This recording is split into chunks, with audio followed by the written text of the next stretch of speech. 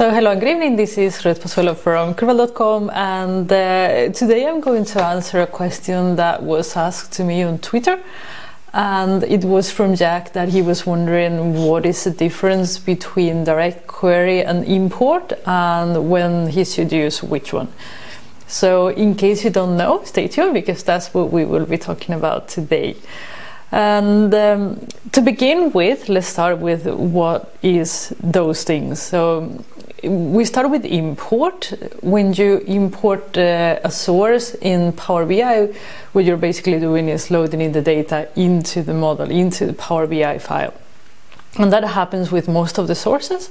So for example, when you're connecting to Excel or CSV or you know the most common data sources most of the time except for SQL you actually import the data in the model with a few sources you have the possibility to use direct query so what is it direct query is basically a way for you to connect to the source without actually importing the data so every time Power BI is doing calculations and transformations and showing you visuals, it's actually going back to the source, picking up the data and bringing it back to Power BI. So the Power BI file does not contain any data whatsoever. So that is the major difference. Now, which data sources can you connect with direct query? The, there is a list. I have my cheat sheet here, but you can find it online. I mean, there's a lot of documentation around it. And I'm going to name the ones I found, which is SQL, of course. And you have Azure SQL Database, you have Oracle Teradata, you have Amazon Redshift, you have Impala and Snowflake. Now, you don't need to remember this really because when you connect to Power BI, if it is a direct query option, you will see it. So you will have the possibility to choose between direct query or import. So why remember it, right? So you can see it when you're actually importing the data into the model. So let's uh, start with what we actually wanted to talk about today, and is what are the benefits and what are the limitations of direct query? When should you use it? And um, the benefits for the main benefit of using direct query is basically the ability to work with large data sets. Um, you are not importing the data into Power BI, you are working back on the source, and uh, it is uh, much easier to do it using direct query. You have also the data will be live because you know uh, when you are doing an import you're just importing a snapshot of how your database or your data source looks like. Uh, when you're doing direct query because you're connecting back to the source all the time you're always working with live data. So there is also a huge um, benefit if that is important for you and there was actually the limitation that we have with the free um, with the free license where you can only have one gigabyte. Now that has been removed. I don't know if it still applies for uh, direct query. I don't think so. So let's say it doesn't. If you know something else, just let me know in the comment box. Um, so those are the benefits. Now, direct query has many, many, many limitations. Uh, the fact that you are working with a large uh, data set it has its cost. And uh, one of the biggest limitations is actually the performance of your model. Um, it will depend on the source and how fast your source is, how your source is performing. So make sure you check that if you are planning to use direct queries so you will not end up with a very slow model.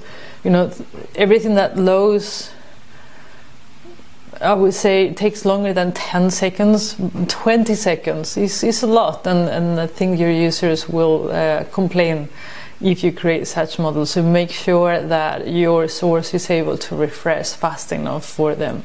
Another thing you have to remember is that if you publish the model to Power BI service and it doesn't refresh in a few minutes, it will time out. That means that you will not be able to refresh your model at all. So make a small check, publish to the service, and check if it's actually going to refresh or not before you put a lot of work into it.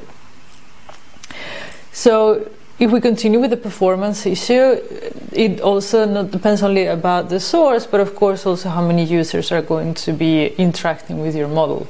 And not only that, if you have row level security, it will affect it even more. So let's say that you have 100 users and you have row level security. That means that you're actually limiting your users to see only data that they are have access to. It could be based on geography or based on customer, or you know there are all kinds of um, settings you can have.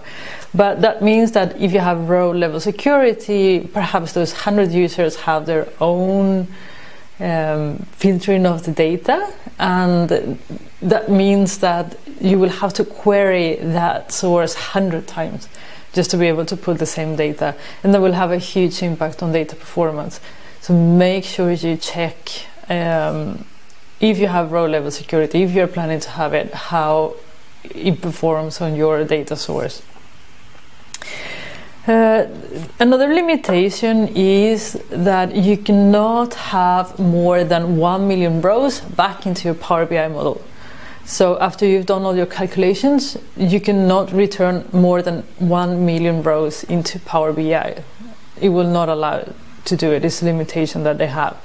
That does not mean that your model can only be, your source can only be a million rows. You can do transformations that move 10 million rows, no problem. But the result of that transformation cannot be bigger than 1 million row because otherwise you won't be able to put it into Power BI. It won't import. So that is something to take into consideration. Um, more limitations. Uh, you are allowed all the tables on your model can have to be from the same database. That means that you cannot combine sources. You cannot have uh, your SQL database and then say, okay, I'm going to pull this metadata from Excel. You won't be able to. It has to come everything from the same source. So if you want to use that Excel source, you have to import it into your SQL uh, database. Huge limitation. Uh, you have uh, to be careful with your Power Query transformations. Uh, they cannot be too complex. What, what that complex means, it depends on so many factors. You have to test it. But uh, you cannot go overboard doing all kinds of transformations because basically the source will not be able to cope with that. You have also a limitation for relationships so that means that um, you can only have single relationships. You know, when you go back to the Power BI, you have the relationships and then you have the single direction or both directions. You have one arrow or both arrows. In this case, you can only have one direction. And uh, again, this is performance uh, reason. So you can work, of course, and do DAX. Measures with just single direction uh, on your relationships this actually makes the model more effective. Again that's what they are trying to, to do. So it, it is actually not a bad thing because you will be forced to learn a little bit more complex DAX calculations to be able to manage just single relationships.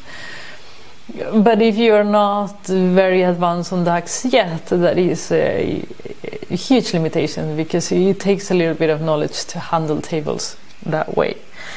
Um, a, a big one, another big one is time intelligence. No time intelligence allowed. So no year to date, month to date, and you know all those kind of cool calculations that we used to do and we use very often, you are not allowed to do that in Power BI. You won't be able to.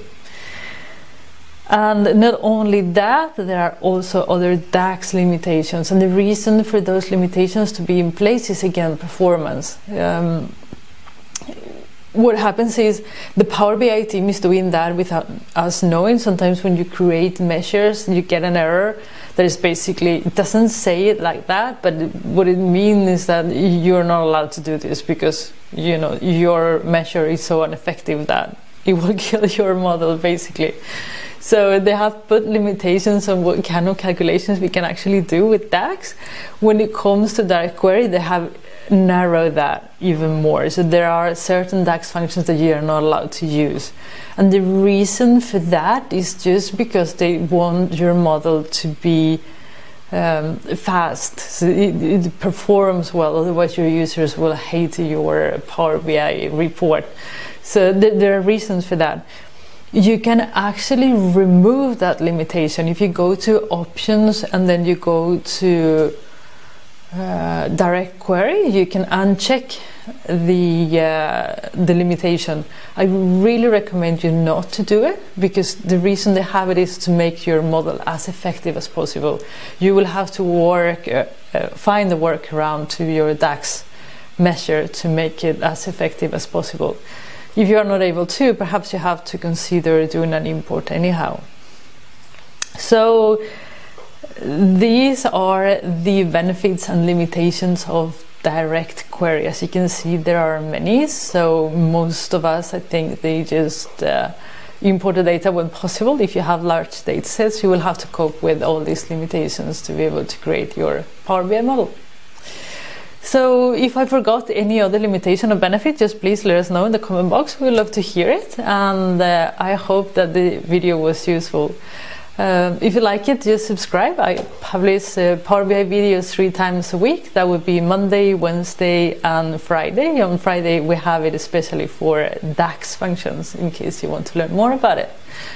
So, have a great evening and uh, bye.